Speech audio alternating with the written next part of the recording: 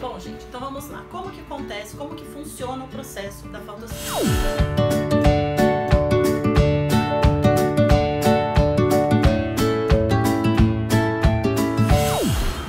Oi pessoal, tudo bem? Bem-vindos a mais um vídeo aqui no canal Eu Adoro Ciência e o tema de hoje é fotossíntese. Afinal, o que é a fotossíntese? A fotossíntese, começando pela palavra, né? É uma junção de duas palavras, foto e síntese. Foto vem de luz e síntese seria produção. Produção do quê? De alguma coisa. Então a fotossíntese é um processo de produção de um elemento orgânico na presença de luz. Precisa de luz. E quem que vai realizar a fotossíntese? A fotossíntese é um processo exclusivo de plantas, algas e algumas bactérias. Porque esses três organismos, plantas, algas e bactérias, algumas, não são todas as bactérias, são bactérias que fazem fotossíntese, apresentam, né, possuem em seu organismo um pigmento que vai auxiliar na produção da fotossíntese. E esse pigmento é chamado de clorofila. Então a fotossíntese é a produção aqui de uma molécula orgânica, no caso é o alimento, na presença de luz e somente os organismos que têm esse pigmento chamado clorofila é que vai realizar a fotossíntese. Então agora vamos ver como que acontece esse processo. Bom, gente, então vamos lá. Como que acontece, como que funciona o processo da fotossíntese? Então eu fiz um esqueminha, vou usar a planta como exemplo, né? Eu preciso de luz. Quem que vai fornecer a luz para a planta, para aquela alga ou aquela bactéria realizar esse processo? É o sol. E a planta tem que apresentar a clorofila, como eu falei para vocês.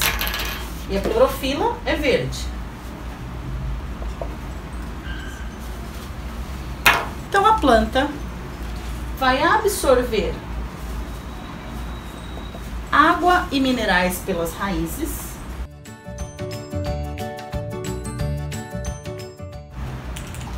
Na presença da luz, a água entra, sobe via vasos condutores, chega até a folha. Ao mesmo tempo, a planta absorve da atmosfera um gás, que é o gás carbônico, cuja representação molecular é CO2. Então, gás carbônico. O gás carbônico reage com a água na presença de luz e da clorofila e vai produzir uma nova molécula. Essa molécula é o alimento, é a glicose. Glicose. Desculpa que tá pequeno. A glicose vai ser utilizada pela planta para o seu metabolismo. Às vezes, ela manda de volta a glicose para a raiz para ela poder ficar armazenada. E junto com a produção da glicose, ela vai liberar um outro gás, que é o oxigênio, cujo símbolo O2, oxigênio. Então produz o oxigênio, muito importante para a maioria dos seres vivos.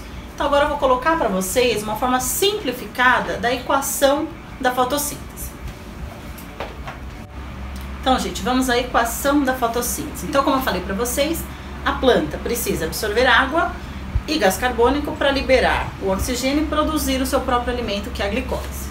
Então a gente representa da seguinte forma: água mais o gás carbônico, você vê aqui.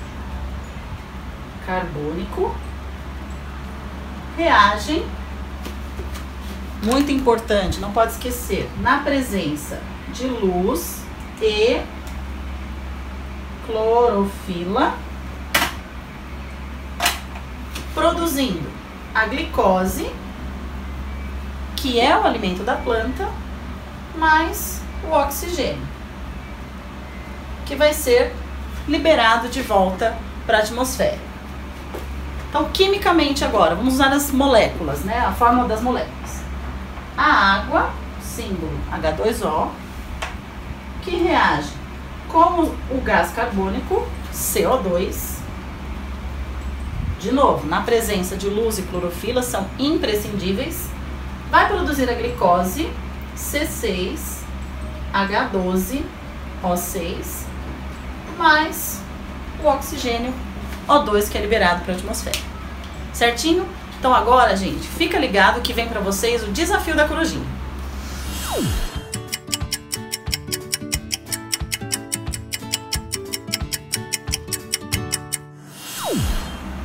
E aí, pessoal, conseguiram decifrar o desafio da corujinha de hoje? Muito fácil, né? Então ela perguntou: além da água e do gás carbônico, quais são os elementos fundamentais para que a fotossíntese ocorra? Qual é a resposta? Então a resposta são dois elementos: luz, né, como eu disse para vocês, que vem lá do sol, e a clorofila, que é o pigmento verde das plantas. sem esses dois elementos, a planta não consegue fazer fotossíntese. Se ela não faz fotossíntese, ela não produz a glicose, que é a sua, é, o seu material para subsistência, seu alimento. E o pigmento, a clorofila, ela funciona como se fosse uma antena parabólica. Fica ali na folha, captando a energia do sol. Então ela vai transformar essa energia que é luminosa numa energia química. Isso é fundamental para a existência da vida da planta, praticamente de todo o planeta. Espero que vocês tenham gostado da aula de hoje. Se tiver alguma dúvida, deixa aqui nos comentários. Compartilha com os seus colegas. Se inscreva no canal se você ainda não é inscrito. Não perca mais nenhum vídeo. Instagram, arroba Eu Adoro Ciência. Página no Facebook também. E até a próxima aula.